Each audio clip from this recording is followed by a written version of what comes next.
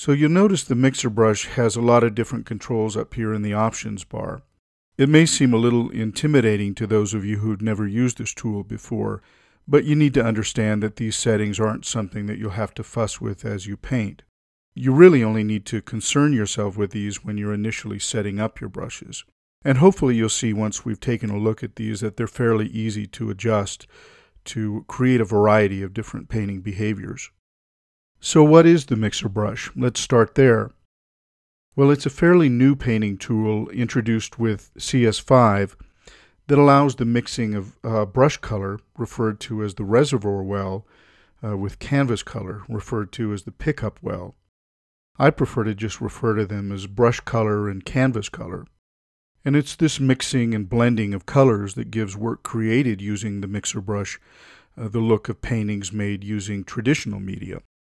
I really enjoy the way this tool works and looks, and hopefully through this tutorial I can pass some of that enjoyment along to you. So as we begin to try to understand what this tool is and what it can do, let's first take a look at uh, these controls right here, wet, load, mix, and flow. We'll start with this uh, wet setting. And simply stated, this uh, determines how wet or how dry the paint on the canvas is. If it's set to zero like it is now, all of the canvas colors are dry. So if we add paint to the canvas, it's not going to blend in any way with the colors that are already on the canvas. But if we have a value of anything other than zero in this field, the brush color is now going to mix with the canvas color so the yellow orange that I have on my brush is now mixing with the background white and uh, all the other colors we see here. And really, whether the setting is set to 100% or 1%, the result is going to be about the same. This particular control works more like an on-off switch than a variable level uh, slider. Let's take a look at this load setting now. This basically determines how much paint is loaded on your brush. If we move this all the way down to 1%, you'll see that the uh, brush color quickly fades away. But if we move this to 100%, we now have a never-ending supply of paint on our brush. And settings between 1 and 100 will assign various load amounts uh, to your brush. For the brushes I make, I usually just leave this in the middle. This mix setting will determine the ratio of canvas color to brush color in your brushstrokes. As you can see, this field is currently grayed out because there's no mixing of colors as we saw in the dry mode. So we'll need to set the wetness of the canvas color to anything other than zero. And with a mix of 100% like we see here, it's the canvas color that dominates our brushstroke. We're not really seeing any of this yellow-orange brush color at all. But if we take this down to zero, you'll see that uh, now it's the brush color that dominates the stroke. And then the various settings between uh, 0 and 100 will provide different ratios of canvas color to brush color. Just remember the higher percentages will favor the canvas colors and the lower percentages will favor the uh, brush color. Looking at this flow setting now, this is just going to determine the rate at which a brush is able to transfer its color to the canvas. A setting of 100 will produce an opaque brushstroke. In a lower setting, we'll produce a more transparent stroke. And because we have a texture pattern assigned to this brush, we're seeing a little bit more of that texture.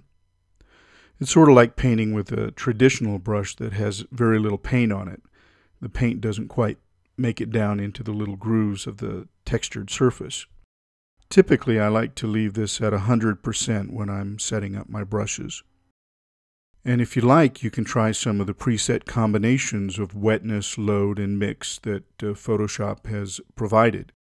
I prefer to set up my own combinations and save them as tool presets, and that would be my recommendation for you as well.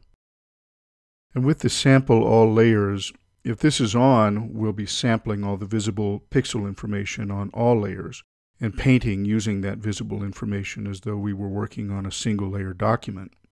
You need to be aware, though, that the more layers you're sampling, uh, the more of a load it's going to be on your computer's processor. With this off, we're only going to be uh, sampling and working with the information on the current layer that we have selected. And like I said, all the brushes we'll be using here are set to sample only the current layer and not all layers. Now let's take a look at these two controls right here, the uh, auto load and auto clean buttons. When this button on the left is on, like it is now, and which it is by default, your brush will automatically reload after each brush stroke. So you can make a stroke and then continue to make strokes without having to reload your brush. With this auto load off, uh, you'll see the color square is now empty. We can manually reload for a single stroke by clicking this downward arrow and then clicking load brush.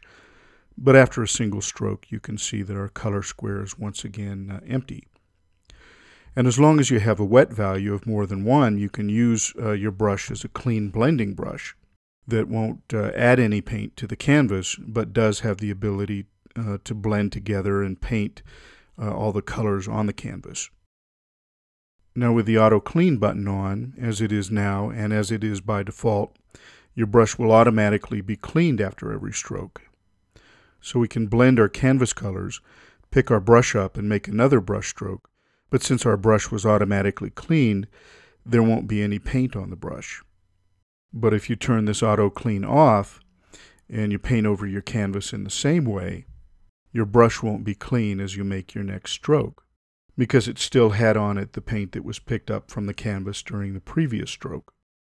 And in the same way, when you make another brush stroke, the white that we just picked up from uh, the background will still be on the brush.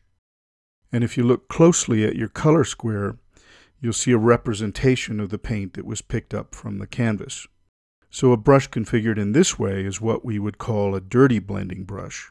And if at any point while you're working with a dirty brush you want to manually clean it, you can just click Clean Brush next to the color square, and for one stroke your brush will be clean. And then it becomes a dirty brush again after that initial stroke. Now if you leave Auto Clean off and turn on Auto Load, let me actually bring my mix setting down a bit. Then we can paint with whatever paint color we have in the paint square along with uh, the paint that we pick up from our canvas. And to make these features like load brush, clean brush, auto load, and auto clean easier to work with, Photoshop gives us the opportunity to assign keyboard shortcuts. Let's take a look at that now in the uh, keyboard shortcuts dialog box, which we can open here in the edit menu. We'll go to tools and we'll scroll down and here you'll see load mixer brush, clean mixer brush, toggle mixer brush auto load, and toggle mixer brush auto clean. By default, these won't have keyboard shortcuts assigned to them, but what I've done is to assign the comma, the period, and the less than and greater than keys.